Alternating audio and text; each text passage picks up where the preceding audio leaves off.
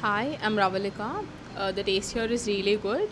The best one is shawarma. The Chinese is also really good. Thank you.